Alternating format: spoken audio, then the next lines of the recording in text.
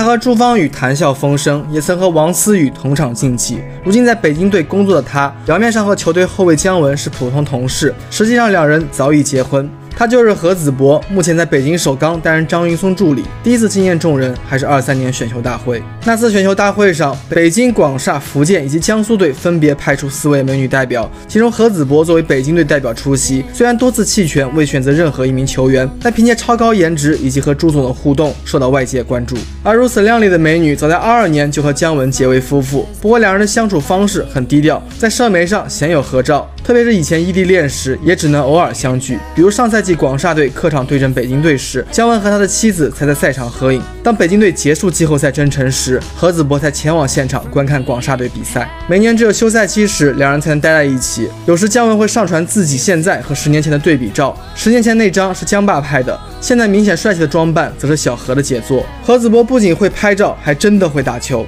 他身高接近一米九，曾经是北京女篮一员。一七年时参加全国体育院校联赛，场均六分四板。在那届赛事中获得助攻王和抢断王的，就是日后国家队成员王思雨。包括当年邵婷从 WNBA 山猫队回国时，前来接机的就有何子波。现如今，何子博的工作是张云松助理。此前，他也曾担任北京队的篮球事务部一员，主要负责球员合同签订、新赛季注册、赛区往返行程对接等。每次拖着一行李的材料给球员办注册时，就是我最有成就感的时刻。也有不少人羡慕姜文，因为他的妻子不仅有颜有球技，更对他的事业助力不少。要知道，姜文早年就是北京青训球员，后来被广厦挖走，和孙铭徽、赵岩昊同时进入 CBA。那时的他还打不上球，不过在预备队夺冠后被新疆看中，可租借到新新疆。队三年，由于再次受伤，只打了三场比赛就淡出球场。重回广厦后也没什么机会。姜文上赛季场均五点九分钟，得到一点五分。就当人们认为他会逐渐淡出联盟时，北京队却在放弃年轻的栾立成、杨阿丽后，给了姜文一份三年的 C 类合同。这一操作让不少人认为姜文是靠在球队工作的妻子暗自助力。姜文也知道球迷对他的质疑，我唯一能回应的就是球场上的行动，全力以赴做好自己，帮助球队。